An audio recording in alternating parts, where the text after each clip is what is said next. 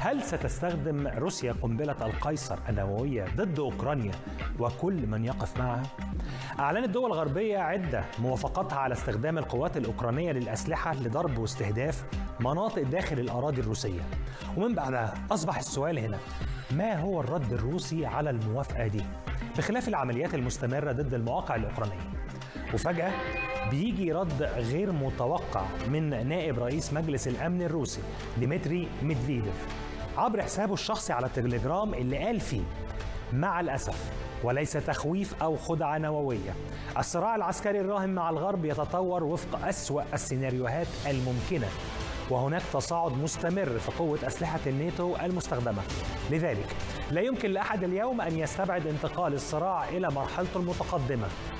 من بعد الرد ده انتشرت فيديوهات كتير لقنبلة القيصر النووية اللي تم تصنيفها على إنها أقوى قنبلة روسية نووية تم تصنيعها وتفجيرها على الإطلاق.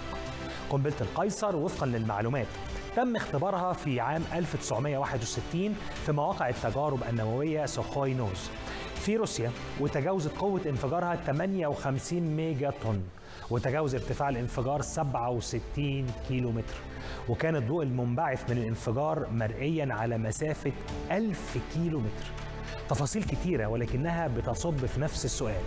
هل سيشهد العالم حرب عالمية ثالثة بتوقيع قنبلة القيصر الروسية؟ تعليقات كتيرة على ال social media والموضوع كان بيتطور بشكل كبير. اخترنا بعض التعليقات منها مثلا سعود. سعود علق على إكس وقال توصل قوة التدمير إلى 900 كيلو متر المسافة جدا كبيرة ومخيفة.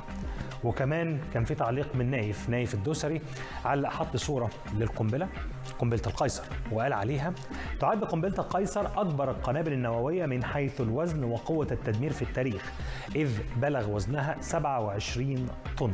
وكانت بطول 8 أمتار وقطر مترين وقوة تدمير 57 ألف ميجا طن. أخيرا كان معنا عبد الرحمن. وصف المشهد يعني الحالي بيقول سيبقى العالم مهددا.